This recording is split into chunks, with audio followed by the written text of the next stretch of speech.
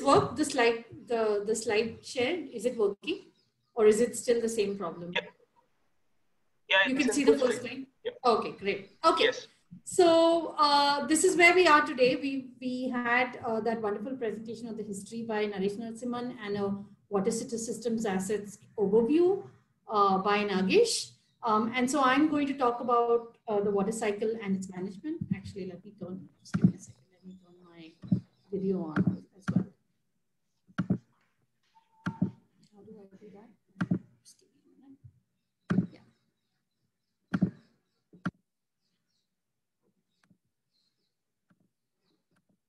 So full screen is still there, right? Yeah. Hi. Yes. Yes. Yeah. Okay. Yeah. Um, Dhanush, since I'm not paying attention, you're going to have to pay attention to who's in the waiting room and admit people. Or Nagesh Yeah, sure. Will have. All right. Okay.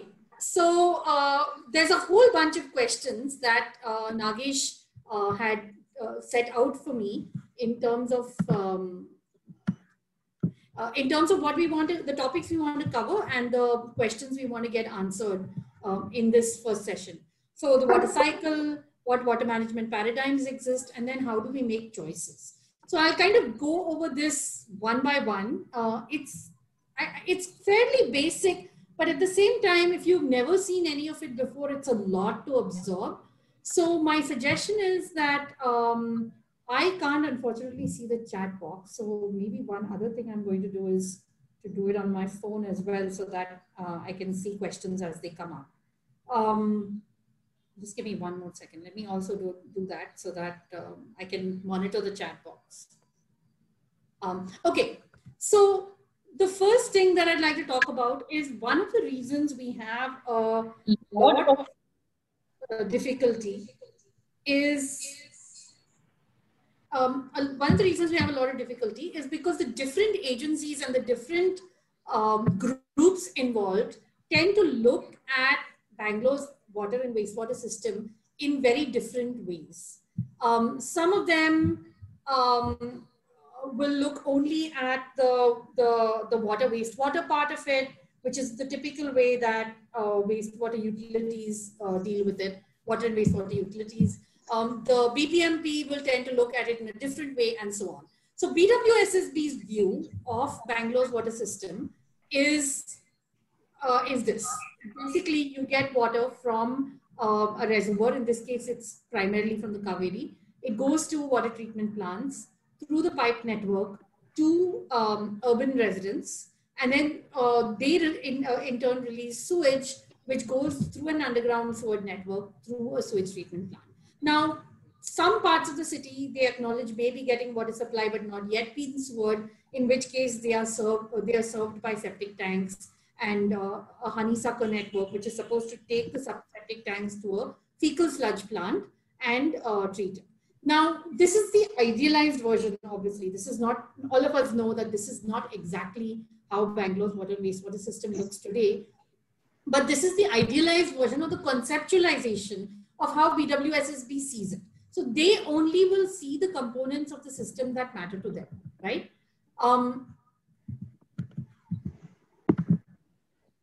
and, uh, on the other hand, BBMP's view of the system is very different. If you see which components of the system does BBMP care about, well, they care about the land, they care about the parks, they care about the, the Rajakaluways and the, and the lakes, and uh, those, uh, in fact, go and join the river at some point.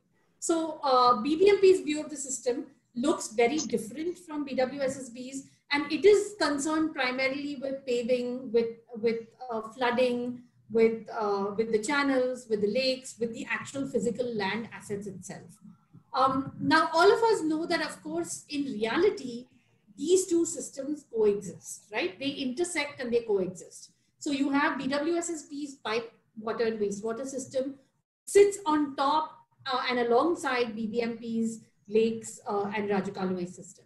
And a, lot of the problems that we have, and then groundwater, which is actually nobody's baby, which is why it didn't show up uh, uh, separately, is actually just hanging out there. It's a, actually a big part of our water and wastewater system.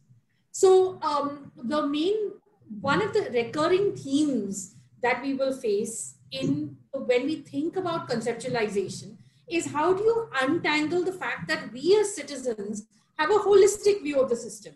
We care about all of these pieces. But agencies that we must interact with are actually tasked or have jurisdiction of only some sections of the entire system.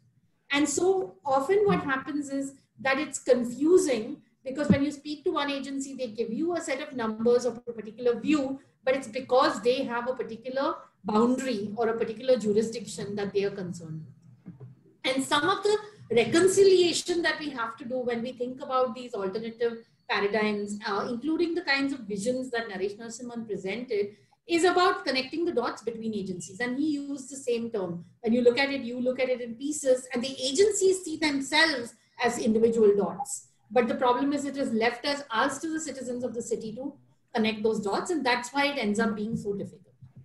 Um, so if you look at BWSSB, their focus is on uh, water supply. And primarily today, all of our water is entirely almost coming from Kaveri. Historically, we got water from other sources like TG Halli Reservoir and Hesarghatta.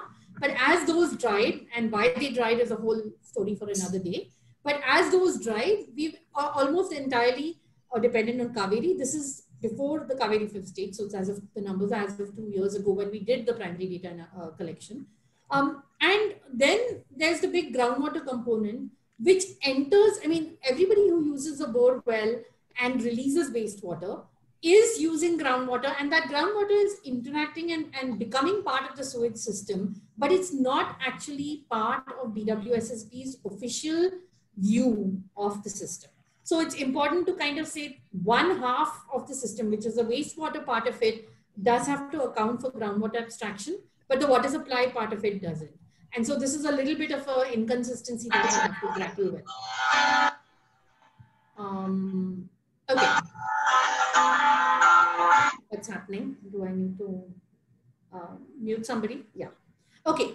So um, the second part of the system, which is, if you remember, the BBMP side of it, is about managing stormwater runoff and uh, and uh, the how stormwater runoff is managed through the system.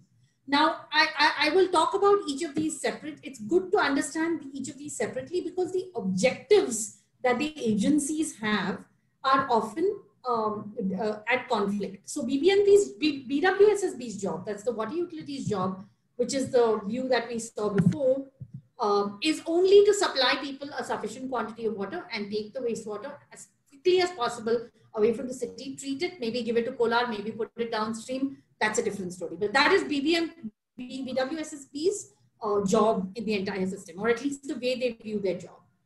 Um, BBMP's job is to manage stormwater and to manage lakes. So of course, as far as the lakes is concerned, some of the encroachment and some of the asset management that Nagesh talked about earlier, that's part of their purview. But a large part of it with respect to the water is actually stormwater management and flood prevention. And so the, therefore, historically, BBMP and all other municipal agencies um, who have thought about these systems have tended to say that our job is only to worry about stormwater. And therefore, if it's flood prevention, my job is to get the water as quickly as possible away from the city.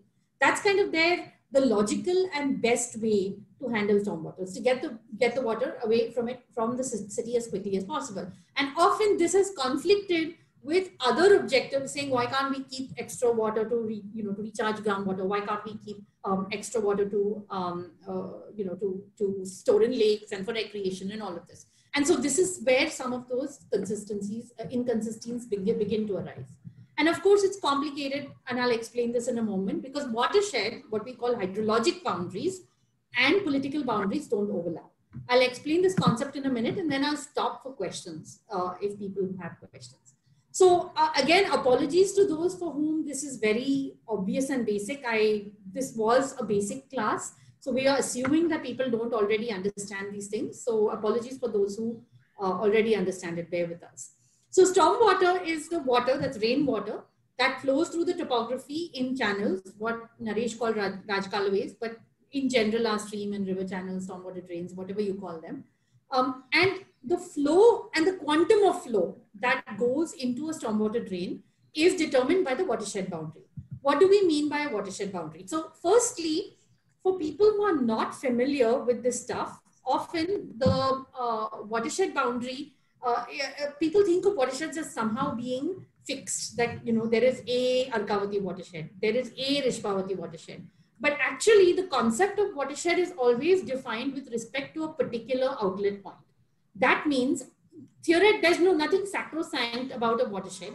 Historically, governments have already classified watersheds and therefore we refer to it as Arkavati or a Bellandur watershed. But the concept of a watershed itself is can be defined with respect to any point in a river system. So you take a point in the river system and say what is the land area whose rain contributes to, to flow at that particular point in the system. And that is the watershed of that particular outlet point.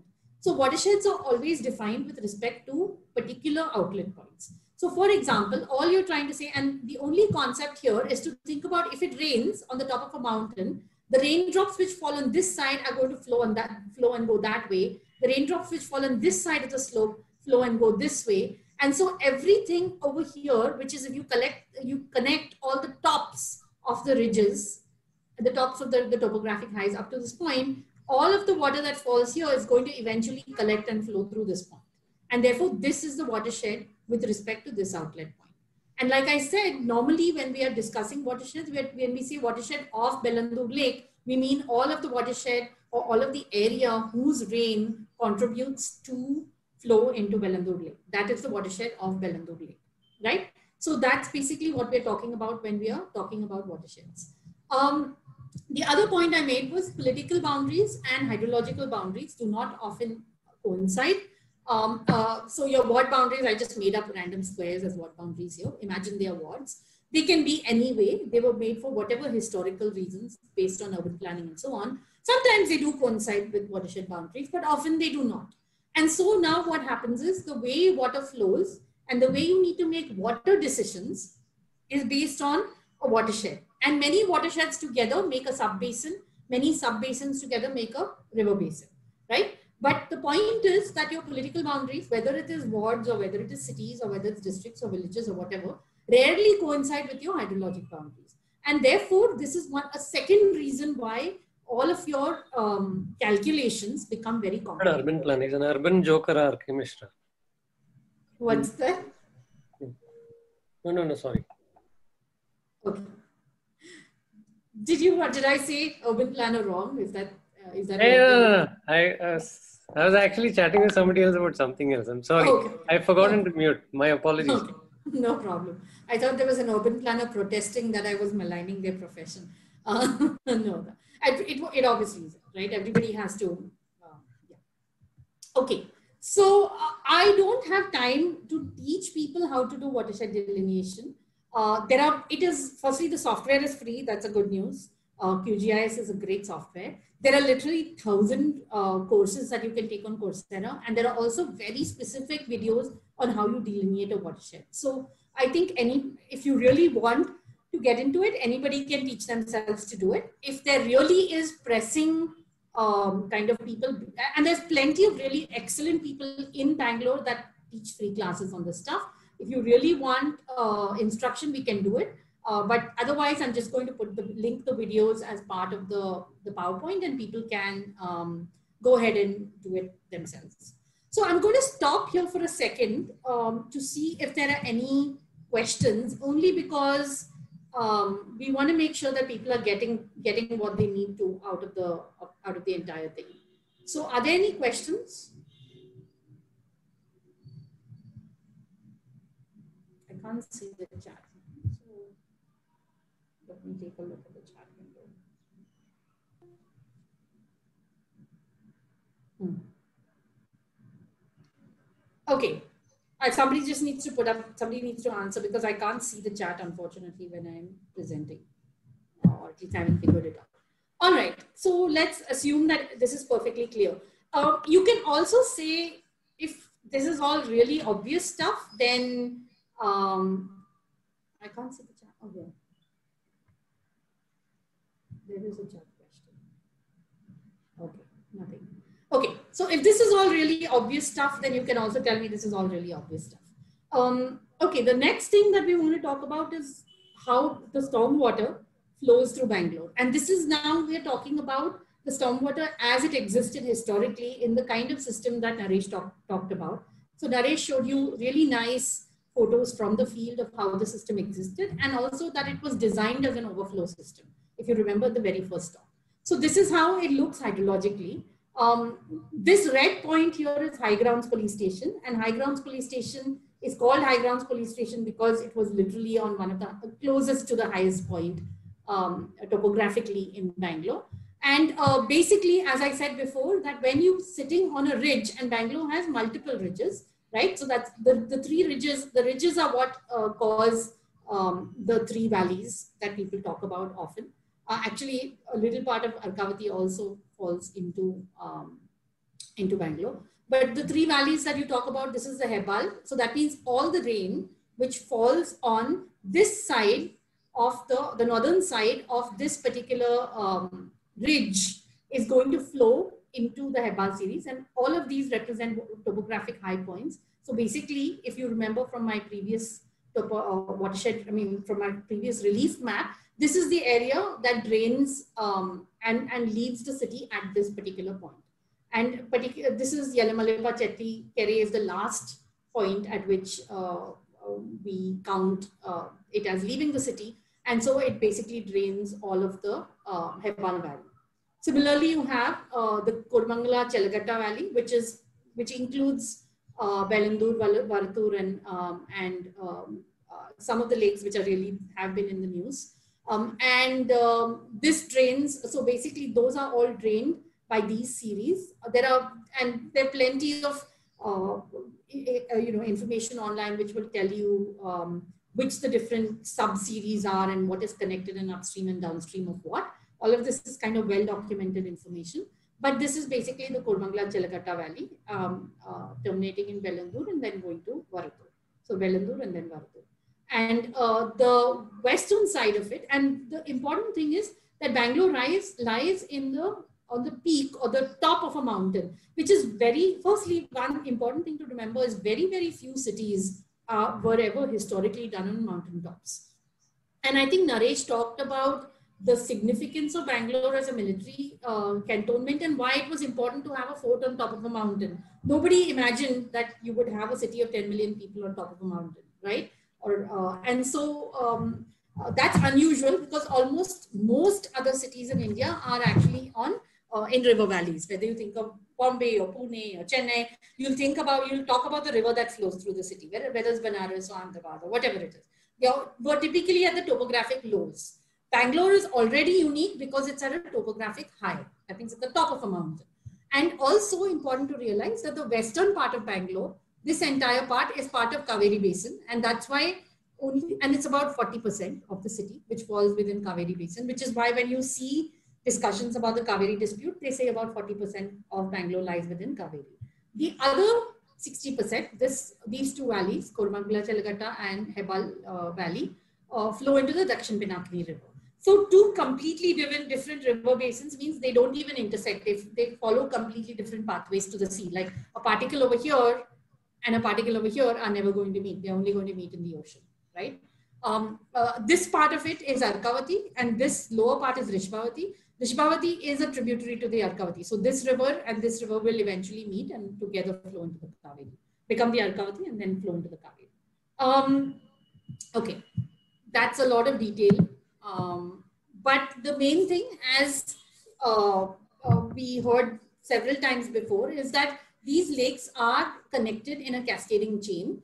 Um, and as people pointed out, man, they never necessarily conceived them uh, to be a chain, cascading chain. It was, you know, these were local uh, structures that were built by local, uh, you know, local landlords, local kings.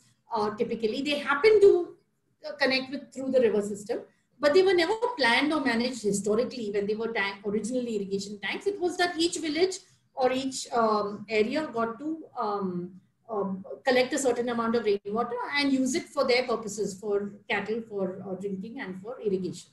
Um, uh, now the problem is because of the way the system is altered, and I'll see, we'll see that in uh, a couple of slides down, because the way the system is altered, this entire thing and the need to see it as an integrated system uh, becomes really important. So this is obviously what has happened as the city has urbanized. Firstly, you had a bunch of apartment complexes. Several of you asked this already in the questions because as the sewage network didn't keep up with the city, uh, there's a lot of um, raw sewage being dumped into the drains or the Rajkalve. So that's obviously the first uh, problem. Um, then to fix the problem, often diversion drains were created. So that means there was, it would be said that, okay, there's all this sewage in this main drain that used to go in here and fill this lake, but we are just going to put a diversion drain around so that it goes downstream. So these are all band-aid fixes, but they are very commonly done throughout Bangalore city that you have these diversion drains. Now with some of these, so what is a diversion drain? It's literally that they put a wall sort of between this inlet and um, and the lake. So what will happen is that the as long as the sewage is below the wall, it just gets diverted, flows along this channel and goes and joins back the Rajkalve downstream. But if it rains very heavily and the water actually, uh, the water level in the channel goes above that wall, then it will flow into the lake. So there are a number of lakes in uh, Bangalore, like uh, is a good example, where there are these kinds of diversion drains, uh, where um, Saulkere is another example. Uh, Hebbal itself has a similar diversion drain. I mean, many lakes have them. But, uh, but the interesting thing is the diversion drains are of, some, of quite different heights. So if you see a lake like Saulkere, uh, almost no water enters. You need a very, very, very large amount of rain to be able to overcome uh, that drain and enter the lake. Um, so the, the uh, a lake like that is dry quite a bit for most part, except uh, following very heavy rains. Uh, another uh, uh, lake like Kaikondrahalli though, um, it gets rain, you know, it gets uh, filled even with relatively smaller smaller storms. some of it depends on the size of the watershed relative to the lake and so on. Let's not get into that. There's a number of things which determine that. But if you look at Hebbal, for example, and the kind of construction that was recently done, they made the, you know, the wall was, say, um, at some height and they made the mall very, very much higher. So one of the uh, considerations that comes up when you start making these kinds of diversion drains is it determines what is the size of a rain event that is going to allow water come, to come into the lake.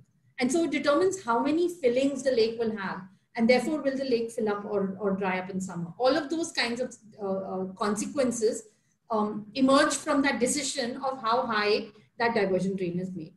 Um, the third kind of common intervention you see, and this is the example of Jakkur, is a lakeside STP, where um, the STP picks up um, sewage from the underground. What they do is they manage to get their act together essentially and put the underground sewage system in one or two or three wards. And um, they ensure that all of that sewage in that area, which was going into the drain and uh, into the lake, is being now diverted to an STP so that there's no raw sewage in the main drain. And in such a case, then you can put an STP uh, and the STP's treated water is then put into the lake. Yeah, so this is kind of the ways in which the system has been altered. Um, now, obviously, as I said before, uh, because the system is now an intersection of the piped water system and wastewater system, because of all these inflows of sewage into the um, stormwater system. So the way the system was designed, the ideal way is that rainwater would flow into the stormwater drains and flow into the lakes and eventually downstream into the river. That was the conceptualization. And wastewater would go into the piped water network and into the sewage treatment plants and then downstream into the river. This is the way the ideal system was uh, designed. And that is obviously not what happened. And therefore, you have this uh, system of this weird kind of intersection between these two systems. And then you have groundwater, which is a whole other, um, uh, you know, wrinkle in the system, which nobody ever paid any attention to. At least nobody thinks it's part of their, it's, you know, it's the forgotten stepchild. And all of these things now interact. Um, the one thing that I should say is that groundwater, um, I had this in a few slides before, and I think I just ran this slide, which I ran over. I forgot to talk about, you have, it rains, you have runoff which happens over uh, the land, which is called quick flow. but water goes into the ground and you also have groundwater oozing back into the stream. And this is called base flow. So uh, if you think about uh, the entire system now, you have uh, stormwater, you have groundwater, you have wastewater, and you have pipe water. You have four different types of water and wastewater flowing through the entire system, and they are all interconnected with each other. And that's what makes the system really complicated to handle. Now, um, so if you really wanted to ask, the, answer the very first question that Nagesh gave me, which is how do you figure out how much you have? How much water is coming from where? Where is it going? How do you do the water balance? This is kind of, I just took this previous system and I just made it a flow diagram to show what are all the uh, types of flows that you have. So go, rainwater goes into obviously rainwater system, harvesting systems and is used by users, city users. You have rainwater going into uh, any dams that you may have, local dams, um, or it can be imported water, depending on what scale you're looking at it, which is then brought to a wastewater treatment, brought into a water treatment plant, sorry, purified and then distributed through the pipe water network. Now, one big piece of the entire thing is that our, pipe water systems are very, very leaky. So almost 30% of the pipe water that comes into Bangalore leaks into groundwater. And that if you take a water balance of a city, that is a huge component of recharge into the city. It's almost half in, in many cases. Um, people, uh, IISc has done this for Bangalore. I have personally done this for Chennai. Uh, it ends up being a very, very big part of the groundwater balance. Um, obviously, households then uh, pump groundwater themselves for additional use. Um, uh, groundwater is also pumped by tankers and supplied that way. Uh, and then you have the peri-urban areas where uh, groundwater is pumped um, uh, for use, but the wastewater, because they are unsewered, the wastewater goes into a septic tank and the septic tank often oozes and, and goes back into the aquifer and recontaminated. So I've deliberately put blue as somewhat clean water, red as wastewater, and purple as kind of partially treated water. So it's water that's, you know, of got some nutrients, but it's not completely wastewater. So um, uh, these unsewered areas often discharge into the drains directly. And this is another example that was given by uh, Naresh in the mornings, talking about the number of illegal outlets from unsewered areas. Um, and then uh, lakes, of course, evaporate. They cascade through the system and flow downstream. Um, lakes also recharge groundwater, so that happens. And then households discharge water, the big households, sometimes even in sewer areas, discharge uh, untreated water directly to lakes or send them to wastewater treatment plants, which in turn discharge them to lakes or downstream. Now, so therefore, I hope that if all that you got out of this, and you can stare at this diagram later, if all that you got out of the system is that it's an incredibly complex system, and figuring out one piece without worrying about what's going to happen to all the other pieces is necessarily tricky. And one of the biggest problems we have with interagency coordination is exactly that. Now, just to go back to the water balance and saying, how do we estimate some of these components? The, point, the thing is that we know how to measure some things and other things we know how to estimate. There are standard engineering formulae you can apply to estimate the others. So for example, rainwater, you can estimate we have 100 rain gauges. KSNDMC alone has 100 rain gauges in Bangalore. So you can get somewhat of a reasonable estimate of spatial variation in rain and therefore how much fell in a particular area on a particular date. You can guess that. We know how much Kaveri supply is coming into BWSSB because that is metered, of course, by BWSSB. BWSSB is one of the rare water utilities that actually meters water, even though they have some unmetered connections and so on. But by and large, they know how much water is being delivered. Um, the difference between the two, um, uh, sometimes you do is you can guess how much leakage is happening into the aquifer. And then we know from intakes of wastewater treatment plants how much is being delivered to wastewater treatment plants. And then we can guess from the wastewater treatment plants internal functioning and metering how much is being discharged back to the streams. Now you look at the number of arrows which we started off with and the number of arrows that we have some grip on and even those have uncertainties but at least we have measurements of um, as you can tell not too many right and some of the big problems is therefore that we have huge number of unknowns that we have to struggle with in order to figure out what is going on in the city, how much is available, where is it going, with of what quality, where is it ending up? You can see lots and lots and lots of question marks. We don't know evaporation from lakes, we don't know recharge from lakes. We can estimate some of these and I'll show you how, but we struggle. We don't know evapotranspiration from big, um, uh, and I wouldn't define these terms, it's there in the glossary. Evapotranspiration is just the combination of evaporation and transpiration from trees uh, is evapotranspiration. So there are large areas, green areas in, in the city like uh, Cubbon Park and Lal Bagh where the trees are absorbing water also and putting them back into the atmosphere. So that's a big component in some parts of the city. We don't know how much is going downstream uh, to either to the Kaveri or to the Dakshin Pinakini. We don't know how much groundwater extraction there is. Uh, we don't know how much the septic tanks are leaking um, we don't know how much pipeline leakage is there. We can guess, but we don't know. So there's lots of uncertainties in this system. Um, some of the ways, and this is just one example, groundwater for households is hard, but at least household water use is somewhat known. We have ranges for how much household water households use in Bangalore.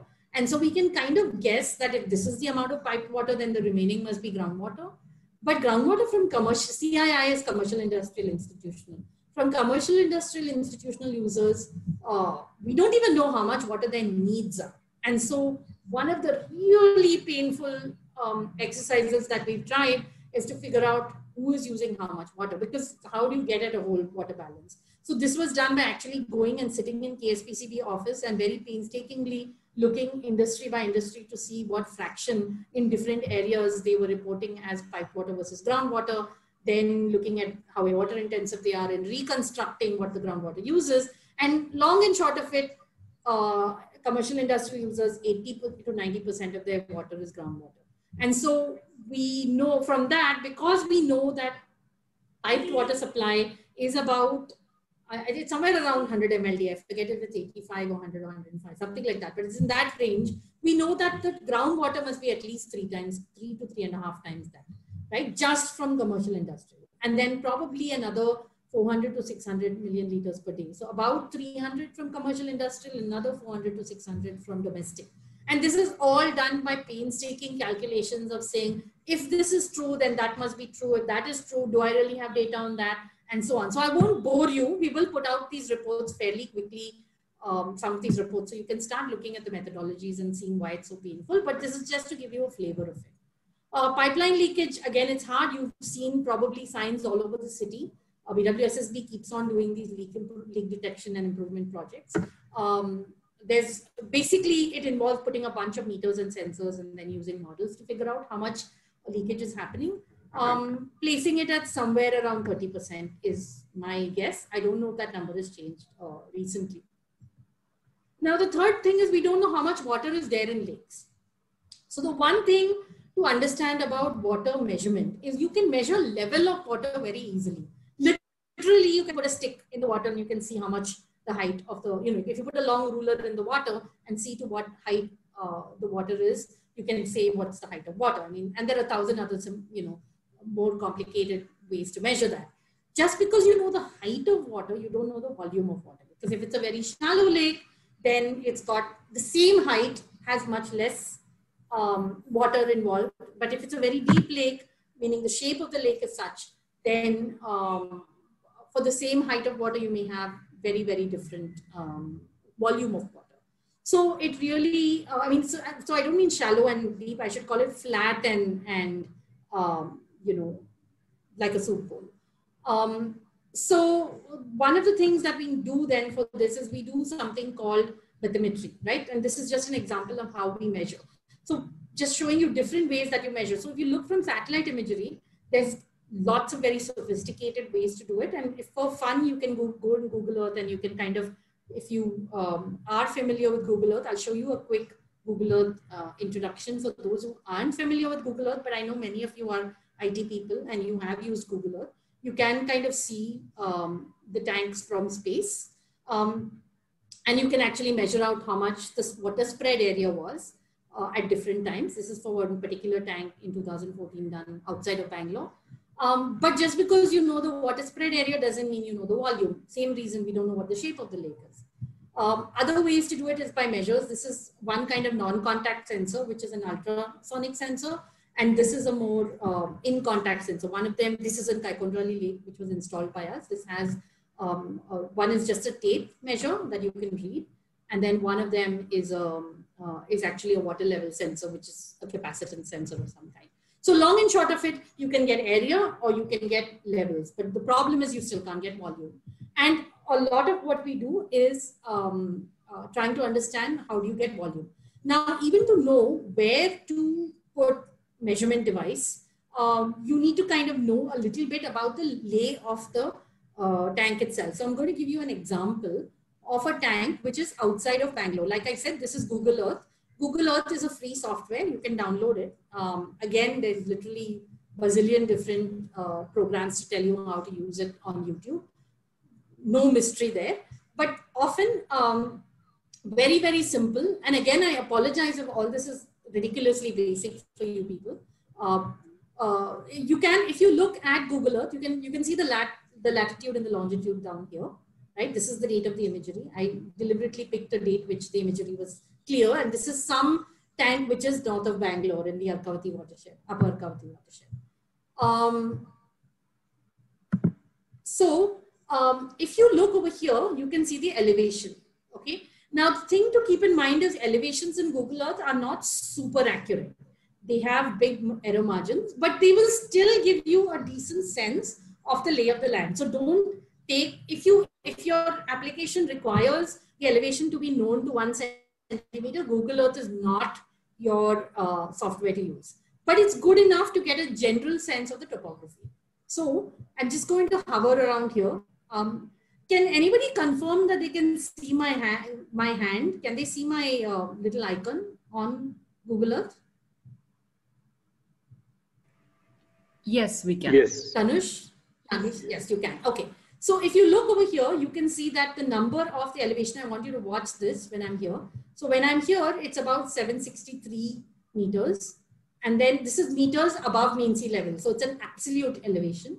And then as you're going down, you can see that it's 755, 70, you know, it's, it's basically going, this is downstream. So we know that the, by downstream, I mean, if it's not obvious now, water always flows from high elevation to low elevation.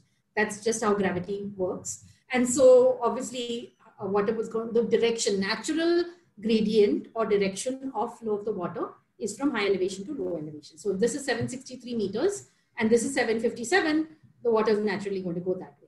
Okay. Now, often people are confused when you look at your particular lake from a satellite image, which is the inlet, which is the outlet. Google Earth can kind of help you in most cases. So this was 760, if you remember. You can see that this is 770, um, 767, 768, 772, 766, and 760. So you know that this has to be uh, this area has to be the bund or the outlet and all of these must be inlets, right? And this is an, a way for you to check also later to see that, um, to ensure that your, uh, you know, if there's a one, you know, one of the things I've heard is uh, somebody trying to build a pipeline with water supposed to go upstream, the gradient is in the wrong direction, that sort of thing. So if really ridiculous stuff is happening, this is a way that you can quickly ensure it. Um, the other thing I wanted to show you, if for people who are again familiar, you can look historically at Google Earth imagery. You saw that I showed you, this is the date of this particular image, November 11, 2018. You can go back and look at other ones. And uh, you can see that in the drier period, in the end, you can see this is now December 2017, um, May 2017. So you can see that the tanks generally are empty in the summer months, they may not be entirely empty, but um, they are full in the just after the monsoon, not surprisingly. Okay, um, if you go, keep going back, I just wanted to show you some really dry periods. Okay, so this is a really dry period, which is May 2015. You can see the outline of the larger tank, right? And uh, what you want to notice here is that the tank is always the deepest uh, uh, near the outlet. That's kind of how gradients of tanks work because otherwise, if that was not the case, then uh, the water wouldn't even flow through the tank, right? It would just get stuck in the upstream area and then it would have another little dam in the middle that it had to overcome. So if you had to install a water level sensor, um, you would want to install it at the deepest point in the tank so that you're able to get a water measurement even when the tank dries up. And so you always want to put a water level uh, measurement device on as close to the outlet weir as possible, right? Um, are there any questions about this? Is this kind of obvious that the inlets are always going to be shallower and upstream, the outlets are always going to be deeper and downstream. And if you had to bother measuring, then you would always make sure that you put your measurement device at the outlet. So far, so good. Is there, are there any questions here?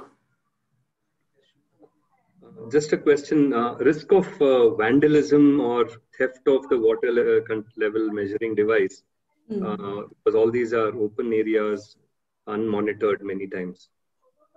Yeah, um, I, in Bangalore, if the lake is rejuvenated and has a um, home guard, I haven't seen, we haven't had an instance of vandalism within Bangalore in a rejuvenated lake. I've not put sensors in non-rejuvenated lakes with no security because in no security, everything goes. I mean, even the uh, lamps and everything goes.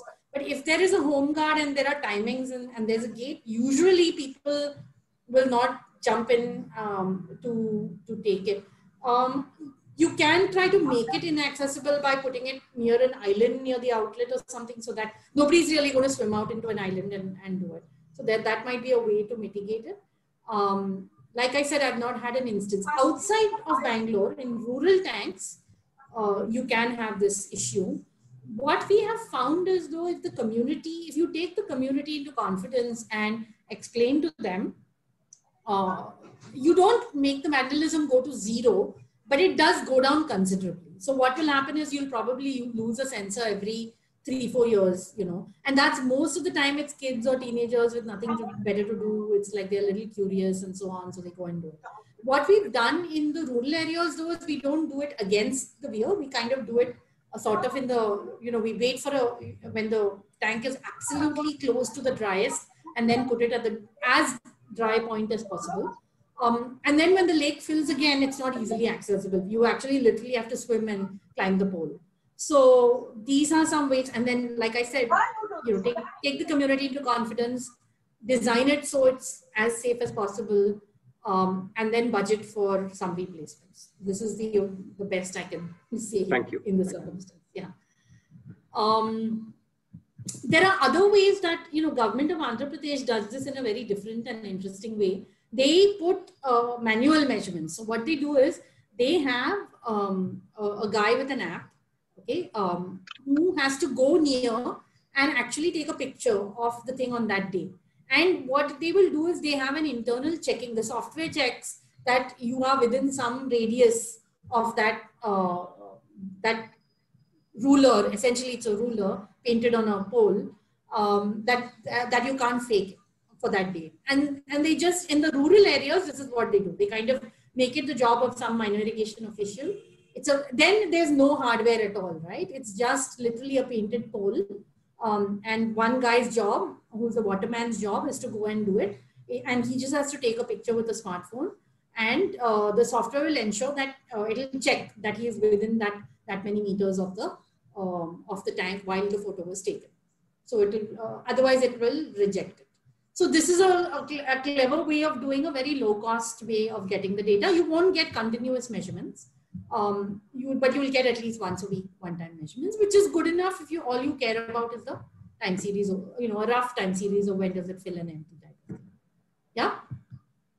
Um, so this is how bathymetry is done. It's a, it's a very cheap uh, this uh, it's a very cheap device that we use. It's actually a fish finder that you can get off Amazon for like uh, we bring it from the US. It's like seventy dollars or something. It's nothing significant. You get on a boat, obviously wear life jackets. Needless to say, for everybody, wear a life jacket, even if you think you can swim. Uh, get on a boat um, with a with a fisherman, and basically you take the depths. And then again, there's plenty of softwares online which will tell you how to contour it and how to calculate the, the bathymetry. And you can get nice, pretty 3D looking things. What we are trying to do, we haven't done it yet, is to see if we can put some very simple code uh, there. And we would be happy to lend people these. These are really cheap devices, sensors. We'd be happy to lend any lake group that wants to do it.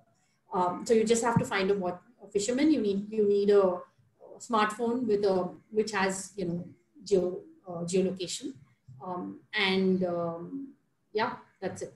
So, so it's not difficult to do the thing is that you, it's expensive and painful for large lakes like a Jakkur. It takes several days to do it. Now, oh, one important thing that I'm going to say about bathymetry is if you want to do bathymetry, uh, we I've put some videos on the details of doing a bathymetry um, in this and link it and do read it. Don't just jump into the lake, the lake with or without a life jacket right away because um, if you're doing it, you want to make sure you've got your reference level because it's obviously that if you do it over two days, your lake level is going to change from one day to the next. And so if you're just taking the depth, you can't compare um, reference levels across two days. So you have to make sure that you have an absolute reference level. Usually the outlet weir is a good place. So you want to take a particular point in the outlet weir as um, a reference point and you want to make sure that you're measuring the depth of the lake below that outlet weir uh, on the day that you're on every day that you're doing the bathymetry. If you can't complete the entire lake in one day and a large lake,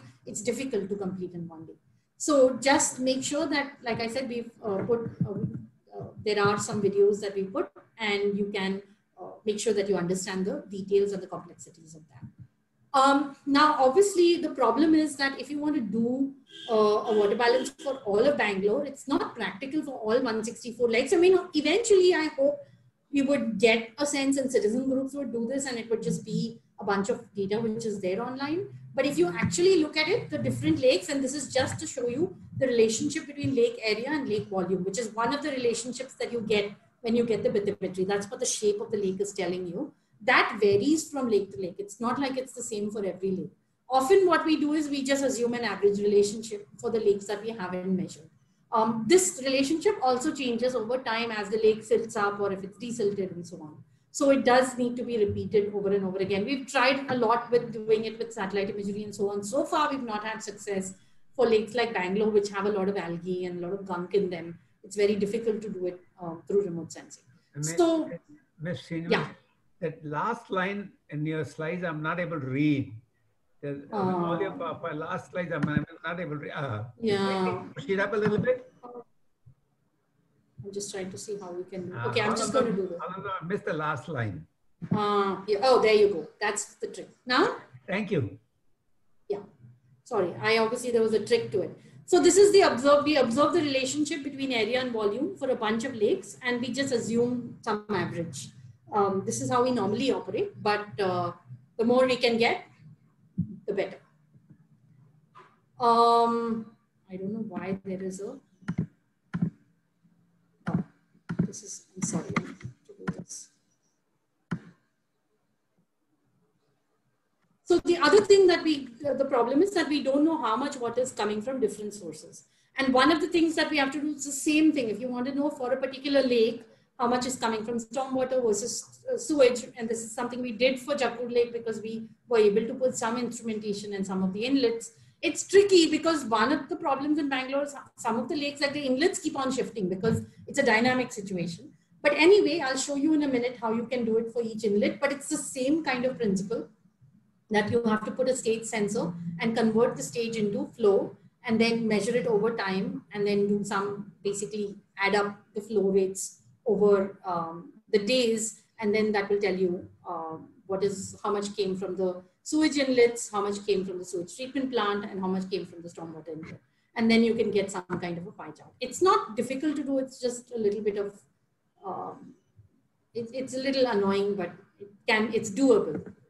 Um, then there's a matter of we don't know how much evaporation and recharge. And I know I'm depressing people by saying we don't know anything, but that's kind of the nature of engineering. I mean, we just don't have enough data on everything. But we can start developing these kinds of uh, water balance equations. We, if we know how much is the initial level of in the tank, how much is the final level, we know the difference. We can measure how much is, came in through rainfall, and then we can get the uh, evaporation and recharge, and then eventually you can start constructing a water balance for a particular lake. Um, this is what you have to do for water balance in the streams uh, like I said, for the inlets and outlets, um, you basically would need, um, what you do is you measure the height of um, the, the water at different sections of the stream. And then you use something called a velocity meter, uh, a, a, a flow meter. This is an, a little bit of an expensive uh, instrument, but uh, again, if somebody really wants to do it, we are happy to collaborate in some way and help you with it. Um, then you take the, the velocity at different points in the stream, and then you're literally adding up the velocity times uh, the depth in each little strip, and that is giving you your uh, your volume of flow, and then um, oh, then you can calculate it over many periods if you know the different heights. Um, then you can figure out that. So ideally, you want to. It's complicated. You want to develop something called a rating curve, which tells you that for different heights in the stream, how much is the velocity? Because the velocity is not constant. Obviously, as the water uh, level increases, the velocity becomes faster and faster because uh, the water, if the water is very, very low or shallow in a stream, it gets um, dragged. The friction from the ground and the rocks and the plants and stuff is very high and it's slow. But as the water level goes higher and higher, uh, there's lesser and lesser friction because water flows easily. It's less frictionless than the ground. And so the upper layers of the water flow faster and faster and faster. So normally what happens is you develop something called a rating curve, which is what is the uh, speed with respect to different heights. And then basically you measure height because height, if you remember, is something that you can measure. Or it's just a, you know, one of those devices that you place in the stream. And then you can figure this. So I know this was a lot to absorb. Um, I'm just going to uh, link the videos. Yeah.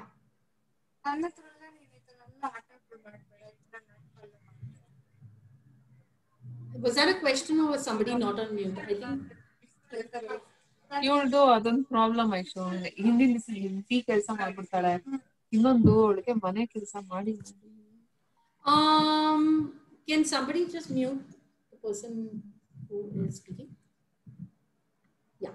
Okay. Thanks. Um, so the other way that people do it is to because we can't measure it for every single stream, and it's really difficult. See, when when it's a dry season and it's only sewage, um, it's possible to measure uh, how much water is there. And so, if you want to measure sewage inflow, it's that's easier.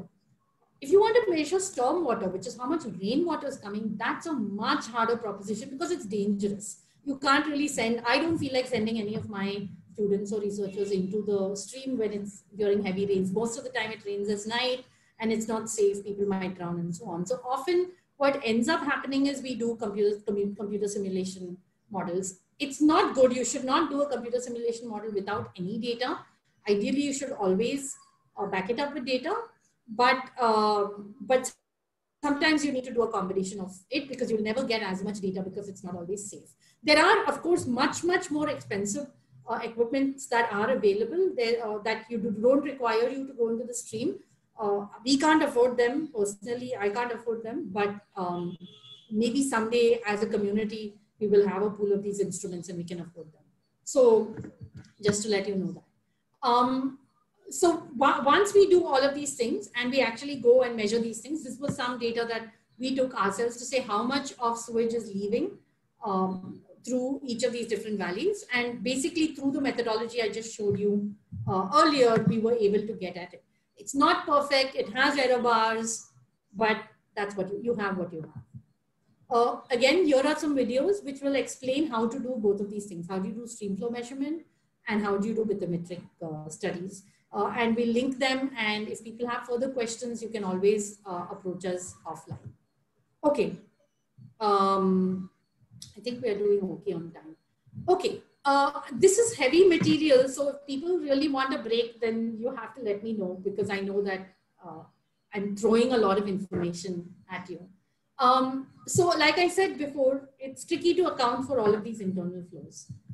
However, we can do it. And, and this is what we did a couple of years ago through, and it's just by being, by sheer doggedness, like every one of these arrows requires a different approach. Some require surveys, some require measurements, some require models, whatever, but you can, you can get there. And by doing that, you can develop these kinds of charts Uh, you might have seen some of these in the context of sanitation. Uh, I don't know if you've seen any of Center for Science and Environment's shit flow diagrams, but these maps are called Sankey diagrams, and they basically allow you to show what is coming through what uh, pathway, where is it ending up, and who's where does it end up. So this is, for example, sources and uses.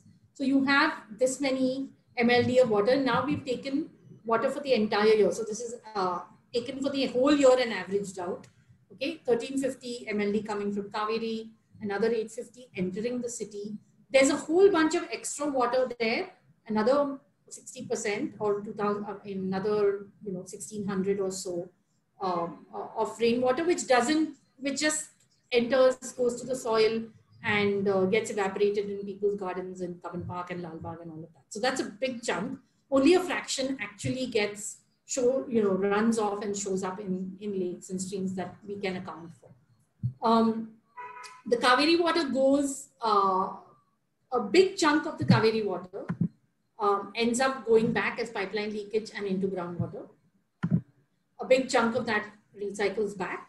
Um, the rainwater itself, bulk of it goes into stormwater drains and eventually through the lake system.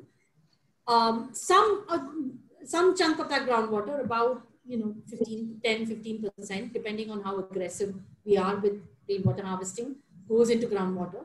And then um, some part of groundwater is also pumped by bwssb also. So if you can see some part of groundwater goes to bwssb because in a lot of the older areas in bangalore there are still municipal bore wells uh, which uh, the corporator has put for you know one slum or one small neighborhood or so on and so BWSSB itself has, apart from the Kaveri Water Network, has these little uh, pipe utilities just for one or two streets. Um, and then there's a huge amount of groundwater pumping from uh, end users themselves, which is what we call self-supply, right? Self-supplied groundwater. So all of that together then feeds domestic and um, in uh, commercial industrial. And lakes is mainly um, rainwater. And then you see in the next one, you also, this is more complicated because if you break it down, then some part of what comes into lakes also comes back as uh, wastewater. So some of that industrial commercial water also goes back both as treated and untreated back into the lake system. Some of that evaporates and the bulk of it flows downstream. So when you put all of these pieces together, um, it can be done. There is no magic about it. Uh, a Sankey diagram is something, all you need to do to develop a diagram like this is um, there are standard, this is just like some Java code, but you just first need to develop the Excel spreadsheet which says what is going from what to what. And the main thing that you need to understand is that there's a difference between a stock and a flow. So you, the amount of water that is present in Jakkur Lake um, is a large quantity of water. It can be, I think it's 800,000 ml or something like that. We'll see it in a second but uh, the vast majority of that is is flow is not water that is that is getting replenished every day. So only 10 or 20 mld or whatever may enter the lake every day but it may have a much larger capacity to hold water right? So uh, you may have 800000 million liters but only 20 30 40 mld is entering and leaving every day. So that's the difference between a stock and a flow. And a sankey diagram only involves flows so we're not considering stock. So that just because I'm talking about 1700 MLD, that's million liters per day, that is the amount of water flowing through lakes, not the amount of water that is stored in lakes. Um, I hope that distinction between a stock and a flow is clear.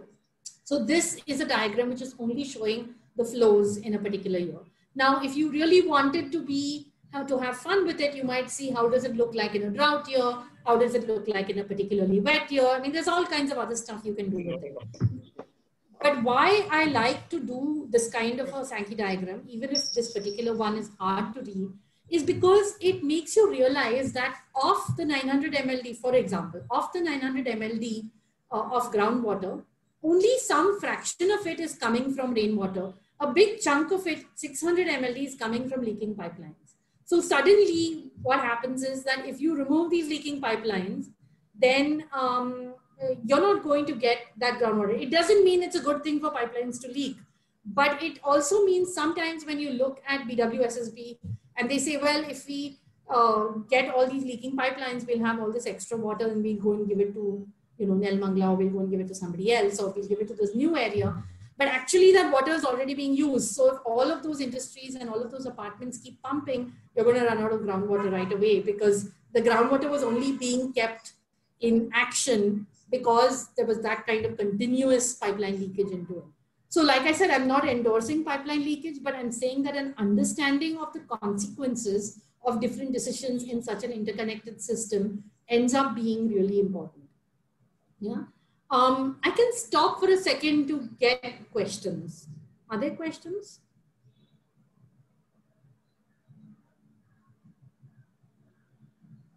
or have I like depressed everybody so much that everybody is this is too complicated? We don't want to follow it. Is this is this uh, clear? I can't see the chat.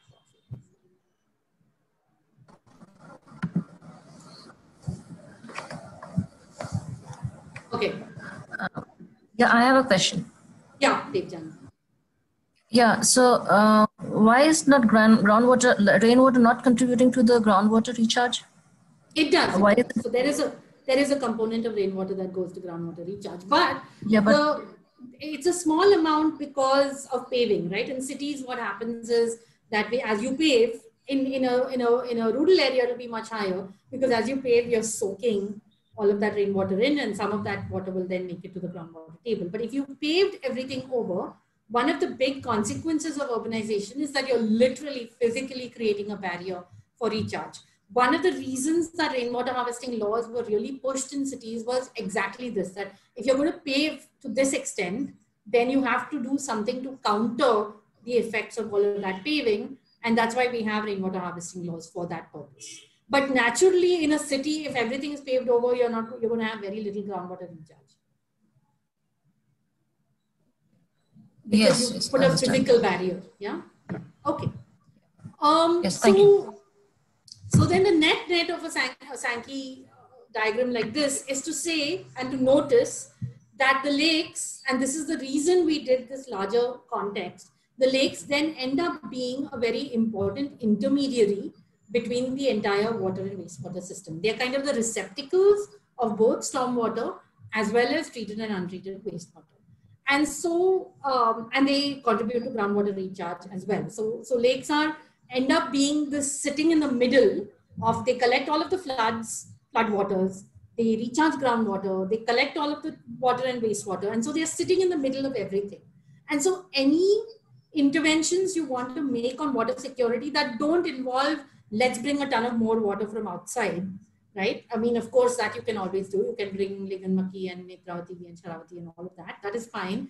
But anything which involves reusing uh, water, you know, uh, reusing more of local rainwater, reusing more of wastewater, uh, doing things a little more what we call circular economy um, uh, in a circular economy direction involves lakes and involves how we manage and conceive of the role, role of lakes. So this is the relationship between lakes and water security. So hopefully, um, and then of course, uh, as we go towards the later parts of the, of the course, I've only talked about water quantity, right? And what should become clear as we go on towards the more, towards the later part of the course is that lakes also have non-water security related functions, which is recreation, biodiversity, flood control, you know, local communities may be washing, whether we like it or not, but they, for those users, they perform that function. Um, fishing communities, livelihoods, all kinds of dependencies are there. And so there are different stakeholders who value lakes for reasons which have nothing to do with water security. And often what happens is that those visions or those um, uh, stakes that people have have very different uh, management criteria or they require, if you wanted to manage a lake for birding, um, you might want to have the lake look very different than if you wanted the lake to be managed for flood control. So if you want to manage a lake for flood control, the logical thing is you want the lake level to drop in summer to create space for the monsoon. If you want uh, to have a lake for, bird, if you want to, if you really value the lake for reuse, you want to actually pump that water out and use it for something, then you want to, you care about the storage part of the lake. You want the lake to be maximum storage. While if you care about the biodiversity, you care about lakes as recreational spaces, then what you want is you want a very shallow lake that's full throughout the year. And that's where you're going to get bird habitat and so on. And so often what happens is a lot of the discussions that we have are because people want different things out of the lakes.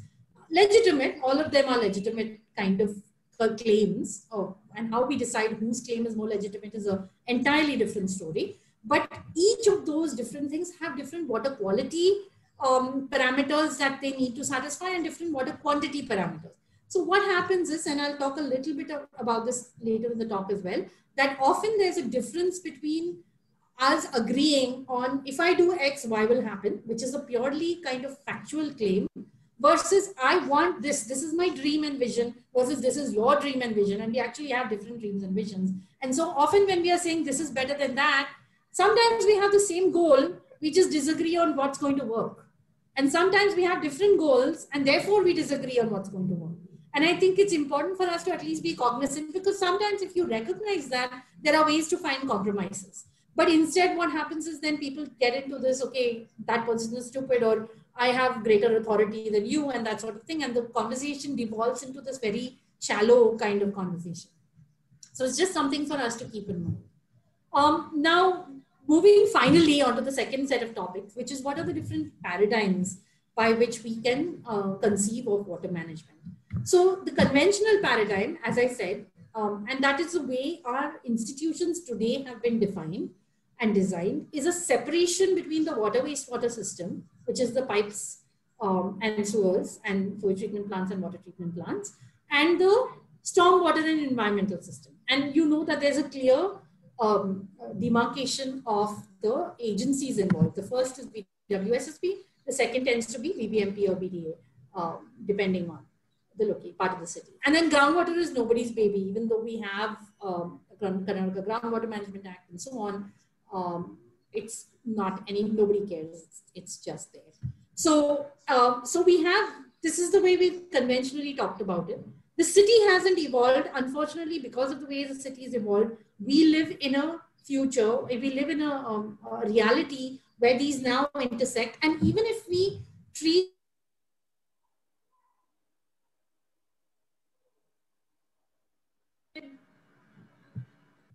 what happened Okay. Hello? We can hear you. Oh, okay. Something happened. Um, somebody, one of the hosts dropped out. Never mind. So at least we can have, um, even if we have lakeside sewage treatment plants and so on, you're still going to have an interaction between the water wastewater system and the um, uh, lake system. And often some of those conflicts that come is because the goals of the agencies and the way they have set what their job is in this entire thing is very different, right? Where um, the uh, BDA, BBMP kind of, if they think of their job as flood control, they're going to define it as get the water the heck out of here as quickly as possible. If it's BWSSB, they might say, well, let's have some water in lakes and groundwater. Maybe we can use it as a backup, uh, backstop, you know, water in a drought or something. But often those, because of the way we've separated them, the way we've conceived them, they end up being different. And often the regulations that then underpin what they are supposed to do because of a historical legacy reason ends up being different. And that's the world we live in. I'm not I'm not kind of saying it's right or wrong. This is kind of the world we live in. Veena, sorry. Now, yeah. Sorry to uh, the slide presentation is gone. Oh, thank you for interrupting. Oops, yes, you're right. That's what happened. Uh, hang on a second. Oh, that's what happened when the yeah, please do um, let me know because what happens is when I'm speaking, I can't actually see the chat box. So definitely um, interrupt me. Yeah. Okay. Now, can somebody confirm they can see it? Yes. Yes. Yeah. So this is the part I was talking about the separation between water and wastewater and the stormwater and environmental system and groundwater being nobody's concern. Um, I'm just going to pause here because I think I've said everything that has to be said. You've seen these two things before, right? Okay. So what's the difference between that and an, in, an integrated urban water management is if you remember integrate if you look at this um, integrated urban water management is this entire thing. It's saying how do we start managing the system for this entire reality which exists, recognizing that those four components, piped water, groundwater, rainwater, and um, wastewater are all going to exist in cities and we need to co-manage for the entire thing. So we need to have a unified management plan which includes all those components. Um, in, uh, and I said, just to show you back the contrast, this is kind of the conventional paradigm that generally BBMP or uh, is managing for stormwater and floods, and then BWSSB is managing for this. And so that's what's causing the disconnect between uh, the integrated urban water management paradigm, which says this is the reality, manage for everything, versus continue to manage these as if each one pretends like the other one doesn't exist. Okay, um, there are, of course, a lot of alternative ways of looking at this entire uh, system. Uh, so low impact development is one of them. Uh, low impact development is a term that is used to develop, uh, describe land use planning, engineering design, and it's generally only talking about stormwater runoff. Now, if you remember, um, the objective of current stormwater runoff, and even if you look at CPHEEO's stormwater management um, uh, guideline book, uh, manual, sorry, stormwater man management manual, it's really put concrete in everything so that you can get the stormwater the heck out of the city, right? And it's certainly a, a manual that was written for a particular time, for a particular purpose. Um, just to, the reason I'm bringing this up is one of the things that we have, as a group have struggled with, and it's something that we encounter in dealing with it is that sometimes our regulations are either inconsistent with each other or they might be out of step with uh, some goals that we might have. It's important for us to realize what is on paper and what uh, agencies are supposed to adhere to today, even as we kind of question and say, how can we create and push for new paradigms? And these are two different realities that we have to deal with. So if the the contractors have to kind of be compliant with what is on paper today. That's kind of what they have to be compliant with. There may be alternative paradigms that other countries have tried, which may not be consistent with that. And that's a separate part of the entire equation. So low impact development is kind of uh, uh, well developed in, in the US and Canada. And uh, part of the reason that it started uh, emerging was partly because of climate change. Because what happens in those countries is that, and it'll, it'll happen increasingly in India as well, is that they develop the traditional stormwater systems. You know, they develop their big uh, pipes, stormwater drains to get the water out of the city as quickly as possible. And they design them for what used to be called a 100 year storm and a 200 year storm and so on. And what happened is that because of climate change and because of increase in those countries, increased snow melt and earlier snow melt, they started having the ratio of storm to rain, uh, snow to rain changing and so on you started having much, much more massive floods, which your stormwater systems were no longer designed to do. At that point, they started asking the question, well, uh, do we have to design a stormwater uh, runoff system to always take away the water as quickly as possible?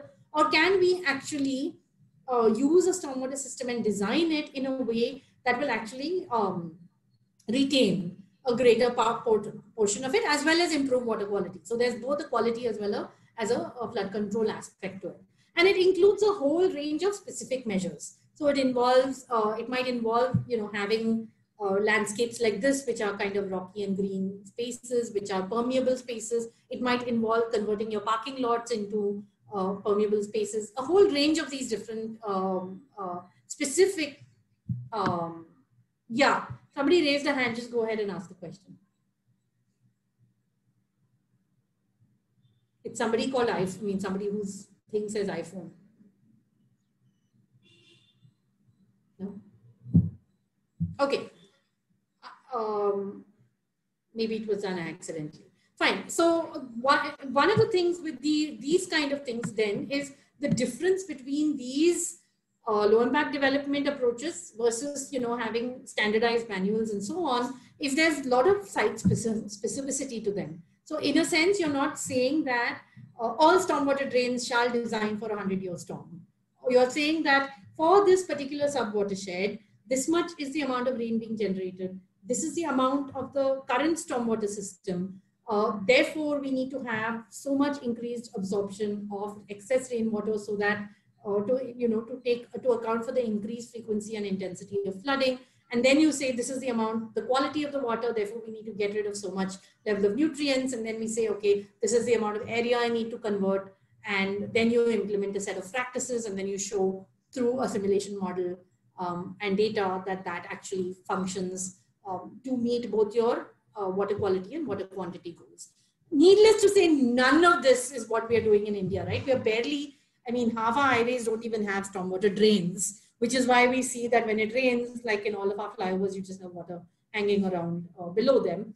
And so this idea that we'll move away from standardized construction to much more custom development is a um, is a much less likely for a Bangalore as a state, but there's no reason why corporate campuses and private apartment complexes and so on can't incorporate some of these elements to it. So there are there's place for it. It's much less likely to happen on public land uh, than on it, but it could still happen on private land. Um, the next term that you might hear is water sensitive urban design. Uh, and water sensitive urban design basically integrates the way I see it. And if Naresh is here, maybe he can talk about a different way of looking at it. But the way I see it, it brings the engineers and the uh, landscape architects together. Uh, because if you think about IUWM, Integrated Urban Water Management, that is kind of the engineer's dream. It's basically saying, how do we do all of these? It's lots of calculations. Uh, how do we kind of design, you know, sewer storm sizes and piping networks and worry about pressure and all of how much storage you have and so on. And that's kind of what integrated urban water management is. And then water sensitive urban design is really and the landscape architects are often really are the ones who have the kind of vision that Naresh uh, Narasimhan presented earlier, which is to show, you know, the, the waterfront developments and how do you bring in ecological uh, restoration and how do you create green corridors and, you know, really about lifestyle and aesthetic appeal and recreational appeal and so on. Um, what I have found is that, and uh, my experience with this in India is unfortunately there isn't enough conversation between the engineering community and the landscape architecture community. Because when i've seen other cities present their visions of this of their waterfront developments and so on often when you look at their sewage plan their sewage plan is not consistent with that landscape architecture plan. Because this, if you go and talk to the sewerage guy he is still planning to have kind of his outlets in some place. And then you ask them well what where's the water for the waterfront going to come from and as I understand, this is the issue that people have with a lot of the Sabarmati and some of those things, is it often is coming from a pristine dam somewhere. So instead of saying, let's use my wastewater and water in very, very clever ways, develop a blue-green infrastructure plan, which actually has accounted for water quality, quantity, sewage outflow, where am I location of sewage treatment plants and all of that. Often in many cities, they take the easy way out and say, let's just do the waterfront development. But the water, if you ask, where's the water coming from? It's coming from some, some dam. I mean, why would you take, because it's, because they're looking at it as purely a commercial um, real estate venture. And uh, what I see water sensitive urban design is really being able to integrate those two, which is to say, how do we actually reuse all of the water and wastewater, create the right standards, all of that, but also incorporate the design, uh, architecture, aesthetics, recreation, all of that. Um, so this is my understanding. I'm happy to be corrected if I'm wrong. Um, the last little bit that I thought, which is worth people just Googling about, is uh, the Room for the River program. Um, and this is more of about flood control. Uh, it's difficult to justify in an Indian context, but I still think that it's worth putting there for people to think about some of these elements and how some of these elements can be brought into uh, our Indian context as well. So the Room for the River program was a program that was developed in the Netherlands and it was basically to deal with increased flooding. But uh, traditionally, the way people deal with flooding is by putting embankments. And you put embankments, that means you have the river, it carries the flood water, then you basically put two big walls next to it so that the water is, flood waters are contained within the embankments. Of course, given our Indian context and given firstly with climate change, the increasing frequency and intensity of floods on one hand, but also poor construction on the other hand, and as you've seen with all of these floods that we've seen in, you know, Assam and Bihar and so on, 90% uh, of the time it's because of embankment failure. And because you just didn't build the embankment strong enough um, for whatever, to meet whatever design criteria you needed. So one of the ways that uh, this Dutch Room for the River program conceives of it is to say, look, rivers are going to flood. But if we leave spaces for them, and it could be that you're leaving public parks, you're leaving, you're creating the playgrounds or whatever, uh, spaces that you don't mind flooding, uh, which will not cause a lot of damage along the river so that you're kind of predicting where the flooding is going to happen and kind of allowing the floodwaters to, um, to spill over into certain areas. Uh, that is then uh, you're controlling the flooding in that way rather than trying to route it as quickly as possible away from the city. And this is an issue that we face even in Bangalore, right? Even last week, um, there was an announcement saying, why don't we put sluice gates in our, um, in our lakes? But I think it's still a question of, you know, is there enough space in the Rajkaluves to route? I haven't seen any of those simulations or any of those numbers. And so it's very hard then to say, okay, if you put sluice gates, it's going to solve the flooding problem because maybe the problem was that your Rajkaluve downstream was blocked and didn't have enough space and you narrowed it too much. So we don't know where the road, uh, the bottlenecks in the system are. So uh, it's worth us thinking about some of the alternative ways of saying rather than let's route the water out of the city as quickly as possible. Is there places that you can hold the water, maybe in uh, playgrounds, maybe in whatever, where you're actively uh, ensuring that you're creating space for floodwaters. Um, now we've come to kind of the last section of this particular um, uh, session, which is on how do we ultimately make choice. Um, and I think that the main thing that I wanted to talk about here is something that I've been, okay, there's lots of messages in the chat. Let me just see what's going on.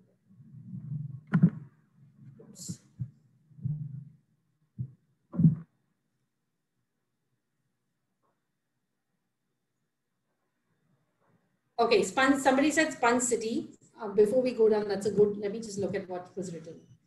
Uh, recharge wells, yes. So somebody said, well, what about recharge wells? Excellent. Yes, recharge wells are an important uh, part of being a sponge city. Somebody else used the word sponge city. That's also an excellent term. Basically says that you want to capture the floodwater in a very um, uh, structured way or a deliberate way so that it's available for use during uh, drier periods. Um, the only thing I would say about recharge wells is often because we have a hard rock aquifer system in Bangalore, um, the rate at which putting or you were supposed to put that. Okay, somebody needs to mute again. Uh, because we have a hard rock aquifer system in uh, Bangalore, uh, often what happens is that just because you're sticking the water into the ground, it doesn't mean that you're able to uh, uh, you're still constrained by the rate at which the water will flow into the um, aquifer system and flow out of your um, your recharge pit. And so often what happens is you still do need to have some surface space to temporarily at least hold the water so that you can um, allow it to drain out. Uh, it's probably just wells alone will probably not be enough to um, to route the water out at the speed that you need because of the kind of aquifer system we have. Yeah, I think I've taken account of everything. Somebody said share the screen, robot exploitation is not considered. Yes, I, I think I mentioned slides are gone. So sorry about that. Birders feel okay. So somebody did say that birding doesn't, birders don't only want the water to be full throughout the year and reduction is, is also uh, welcome by them. That was just an example, just to say that sometimes the different objectives are at conflict with each other. Um, open wells, yes, absolutely. Open wells are, and open wells are much better, so they do solve this issue. Um, uh, I think open wells are an excellent idea. We need many more of them. Whether you can get, because of Bangalore's land constraints, whether you can get enough of open wells to route the volumes of water that we are talking about still remains. So I think all of these need to be part of the system. Open wells need to be part of the system, but probably in a genuine flood, I don't know that open wells are going to take away your flood peak. What they can, so you still probably need some uh, temporary spaces where you can hold the water and then uh, allow it to recharge. You're not probably going to, um, maybe I'm wrong, maybe, I, maybe it's a calculation worth doing um, yeah.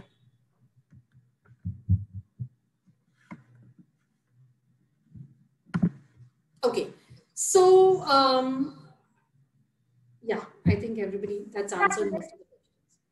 So I think when we come finally to decision making frameworks, one of the concepts that I wanted to emphasize, which I think I've, I've, I have mentioned throughout my presentation, is what in the academic world we call the difference between the descriptive and the normative. Okay, and I know those sounds terrible, they sound terribly daunting, those two terms, but a descriptive statement is basically a factual statement. It's basically saying something that you can ind independently verify, right? If you say groundwater recharge is 26 mm per year, we may disagree. Two engineers may say, no, it's not 26, it's 35 or it's zero or whatever. But at least it's based on, on measurements and so on. But uh, if you say lakes are connected through Rajkaluve or this Rajkaluve is five meters wide, all of these are statements of fact, which theoretically we can come up with a scientific measurement paradigm and we can settle through the science, if you want to use that term. Values-based statements are statements which are not statements that we can settle. So suppose you say that poor people should have free water.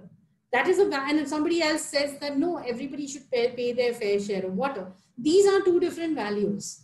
And so often it's difficult to, uh, you may not be able to ultimately reconcile values because uh, some people may say that I like very manicured landscapes. Other people may say, no, I like my landscapes to be wild. Other people say, no, in wild, lands, wild, wild landscapes, you have snakes and lizards, and I really don't like those. So these are differences in values, which you, that they are not ultimately easy to uh, reconcile, but I feel that recognizing where differences arise from differences in values versus differences arising from differences in facts are really important because often ultimately any decision making that we do is going to require a combination of both facts and values. You're going to require both descriptive and normative uh, decisions.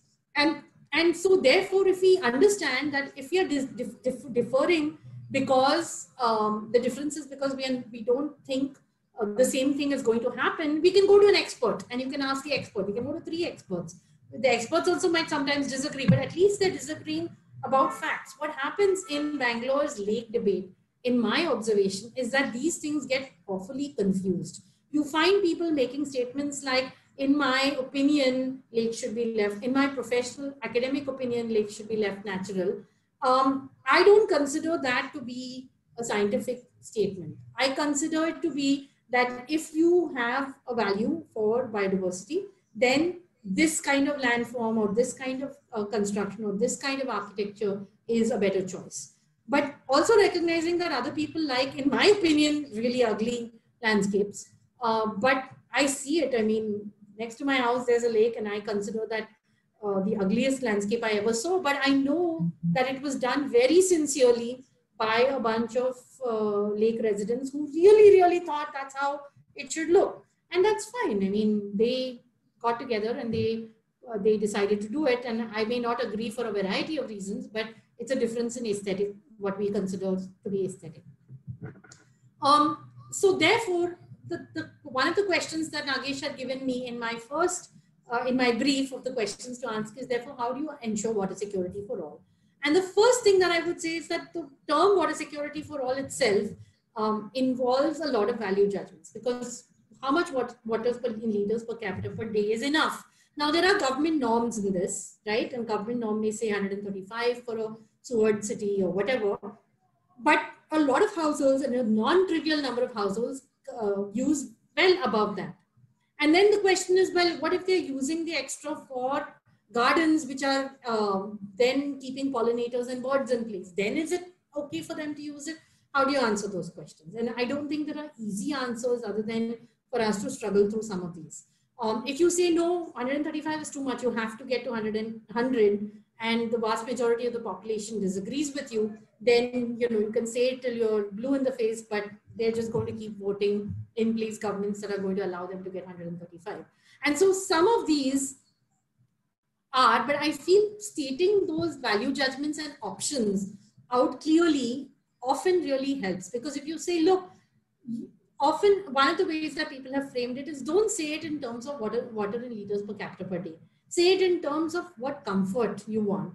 Um, one of the arguments I had with my own family, somebody said, well, I want to be comfortable. Why are you taking away my, you know, comfort? And I said, no, these are not two, uh, you know, contradictory um, terms because you can still have the same level of comfort, what is called water service uh, without actually using that much water if you have this technology or you had that and will you will not even notice the difference for your lifestyle but uh, it would use a lot less water and then a lot of people say okay in that case i might be okay with it so often come, uh, this comes back to those differences between making sure that we really really peel those um, differences between facts and values and, and and try to find because only through there are we going to be able to find middle ground. We're never going to keep everyone happy. That's the truth. Because we, oh, you have 10 million people have 10 million opinions, and we're not going to keep everyone happy. But the goal of this class is to some extent give people reasonable standards, at least get the science right, at least understand what the guidelines and the law of the land is on the paper is on paper. And if you disagree with the law of the land, there are other venues in which to pursue that. Um, not necessarily fighting in a lake group because you're fighting with somebody who has to then be compliant with the law of the land. So there are ways. So what we're trying to do is to create a, a population that will be able to argue in a more nuanced way.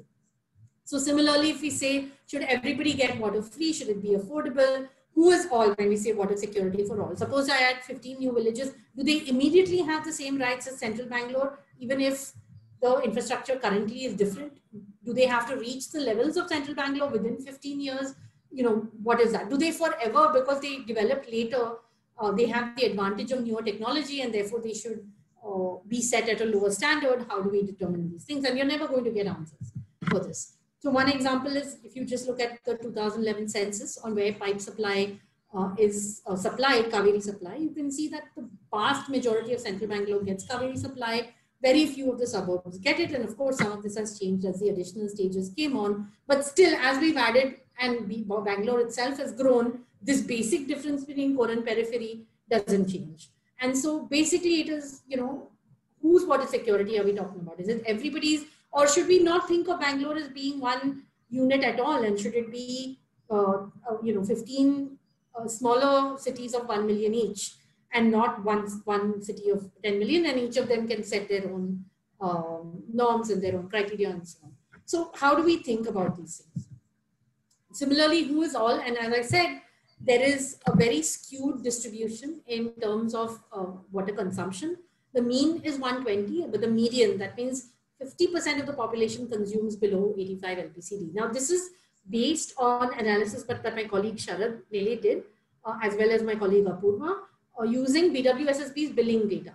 Now, uh, of course, you might argue that this is not all of the data because all of, maybe all these people below 50 are pumping their groundwater wells and you know enjoying actually 200 and so one of the problems is that even with data like this um, we don't know whether uh, the true median is 85 or the true median is really 135 and maybe a bunch of people are recycling wastewater using groundwater harvesting rainwater doing all kinds of things so their actual consumption is much higher even though their Kaveri supply consumption is low so i think there's a I don't know the answer to that. I haven't we haven't got comprehensive data because groundwater is not metered. We can only guess how much groundwater people are using.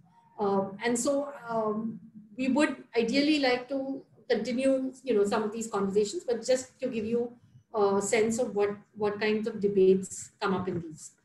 Now, when it comes to what you actually do to increase Bangalore's water supply, there's a whole uh, suite of options uh, that you might have seen in the newspaper.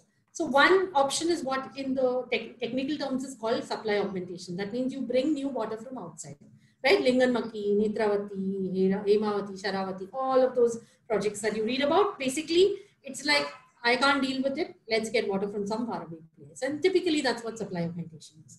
Then increasing pricing is another way because if you say you increase pricing, people would then consume less. And there's a whole range of behavioral interventions that you can think about, not just pricing, but um, you know, giving people a sense of how much where they stand relative to their neighbors in the bill. Very interesting thesis uh, from an IIM student that I'm uh, just looking at at the moment. Very nicely uh, shows the evidence of um, these kinds of behavioral interventions and they, that people are able to have long-term and sustainable, sustained reductions in um, uh, water consumption when you adopt some of these behavioral and pricing interventions.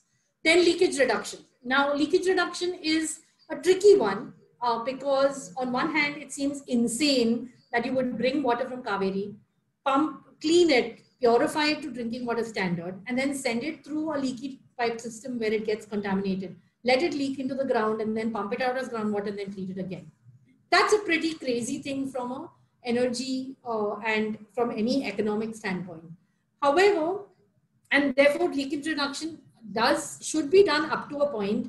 Uh, leakage uh, cities love leakage reduction programs because there's a lot of digging contracts involved. Everybody is happy. Politicians are happy. Utilities happy. Everybody is happy with leakage reduction uh, contracts.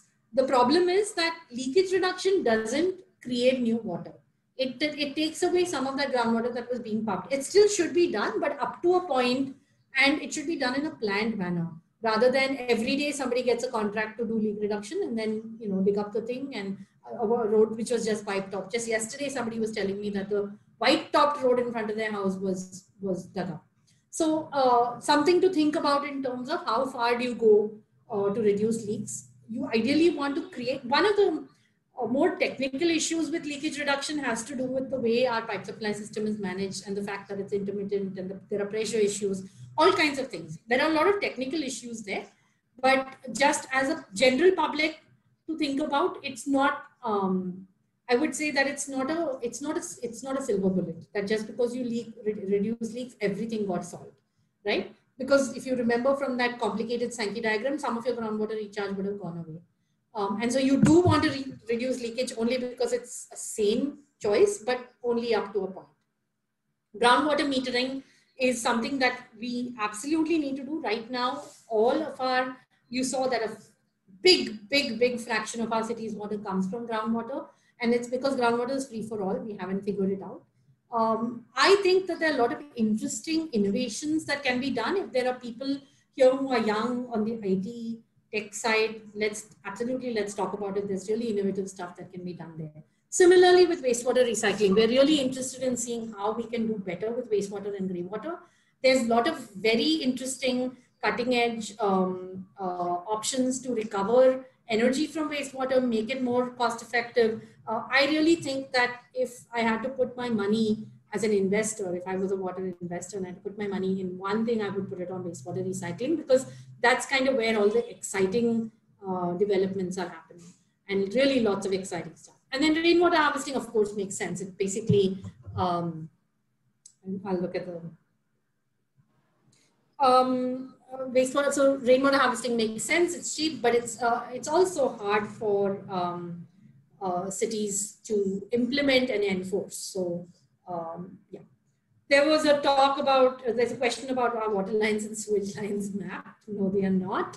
I think Harish Narasimhan talked about fluid, fluid ro robotics, and I'm really hoping that companies like Fluid Robotics are able to help us get there. Some of the things is some of the reasons are that um, these are legacy systems where they started off with a historical system which they didn't map and then people kept just adding random you know in our indian jugaad style adding uh, pieces to it and now nobody knows where anything is.